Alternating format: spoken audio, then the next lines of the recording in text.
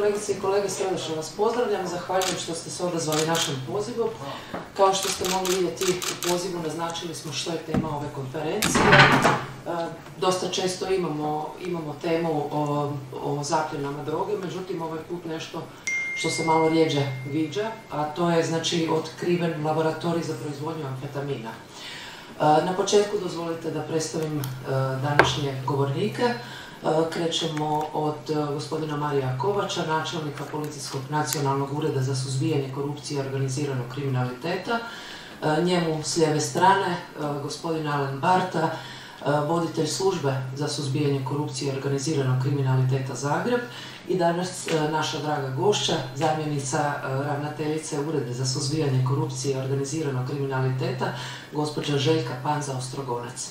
Na samom početku ja bih predala riječ načelniku Kovaču e, da nam malo općenito kaže o fokusiranosti policije na razbijanje kriminalnih skupina koje se bave proizvodnjom droge. Pa načelniče, izvolite.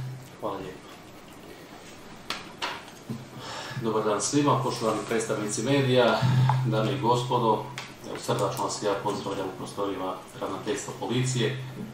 Kako je kolegica Bikić uvodno rekla, Eh, ovu tiskovnu konferenciju smo sazvali kako bismo vas upoznali sa rezultatima kriminalističkog istraživanja, čija završna akcija je provedena u petak i subotu, odnosno 25. i 26. prošlog mjeseca.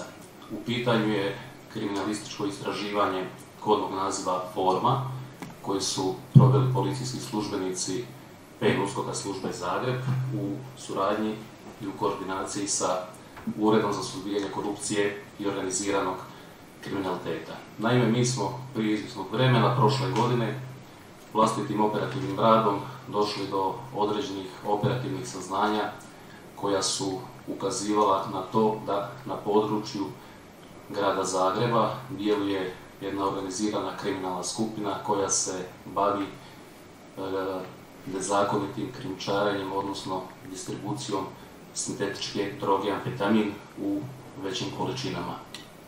Nakon inicijalnih provjera tih operativnih podataka, nakon njihove analitičke obrade, uistinu je ta sumnja i potvrđena, što nam je naravno bio dostatan nastavak, dostatan argument za jel, dalji nastavak kriminalističkog istraživanja. Saznanja koja smo prikupili već u prvoj polovici tog istraživanja uistinu su potvrđena, ne samo da su potvrđena, nego su ona u bitnome i proširena. Proširena su u odnosu na okolnost da to kriminalno udruženje se ne bavi isključivo ilegalnom trgovinom, odnosno distribucijom amfetamina, nego da se bavi i njegovom proizvodnjom. Napomenut ću da je prema našim podacima i našoj kriminalističkoj praksi amfetamin za opskrbu domaćeg narkotržišta e, u prethodnim godinama u najvećoj mjeri, da ne kažem isključivo, stizao sa stranih narkotržišta, prije svega iz zemalja zapadne e, Europe, gdje se uglavnom proizvodio i onda krijumčario na područje Republike Hrvatske.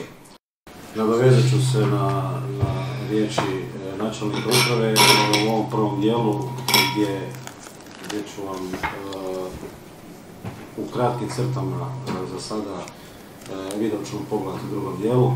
Reći da smo kriminalističko istraživanje provodili više mjesečno, da je to grupacija koja se organizirala za nabavku, za pakiranje, za saskrivanje, za preprodaju opojne droge, a isto tako se organizirala za nabavku kemijskih sredstava, skrivanje i preradu u cilju proizvodnje opojne droge amfetamina.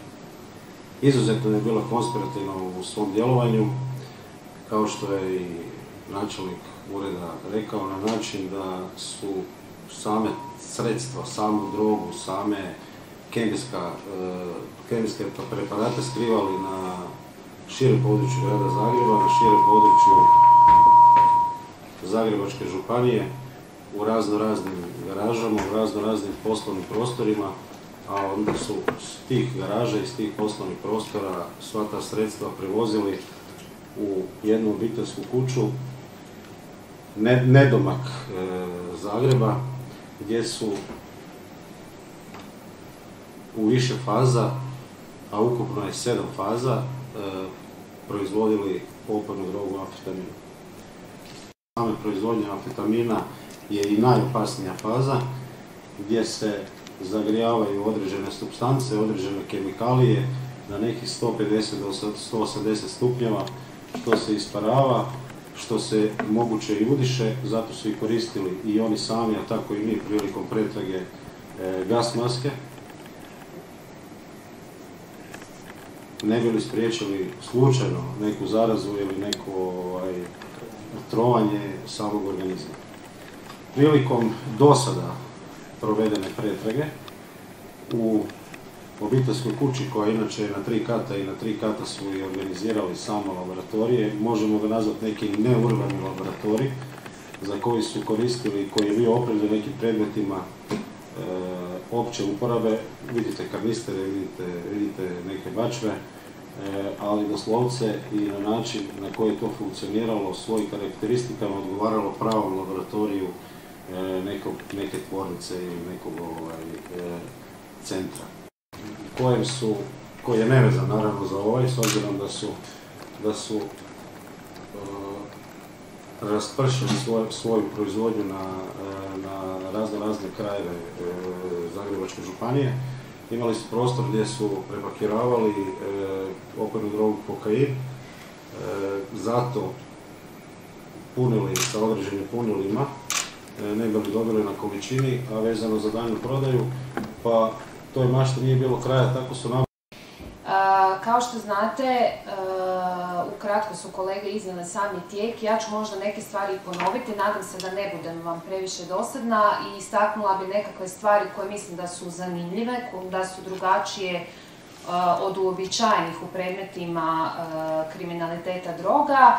Eh, ono što naravno u dijelu kojem je to moguće reći. Kao što znate, Ured za suzbijanje korupcije i organiziranog kriminaliteta protiv ovih osoba je otvorio istragu. Istraga je kao takva nejavna. Eh, postoje zakonska ograničenja u dijelu kojem je moguće uopće iznositi detalje, tako da, da imate to u vidu. Ja bih htjela na početku reći da je Ured za suzbijanje korupcije organiziranog kriminaliteta eh, bio aktivno uključen u samo kriminalističko istraživanje od početka. Eh, cilj nam je bio što učinkovitije prikupljanje dokaznog materijala kao podloge za otvaranje istrage i u tu svrhu smo sa istražiteljima PN Uskoka eh, svakodnevno održavali komunikaciju, koordinacijske sastanke kako bi usmjeravali samu dinamiku postupanja, pravci postupanja kojima ćemo se kretati, naravno sve uvažavajući nekakav dnevni razvoj događanja na onoj drugoj strani koju istražujemo. Ta suradnja je bila iznimno dobra, kao što vidite polučila iznimno dobar rezultat.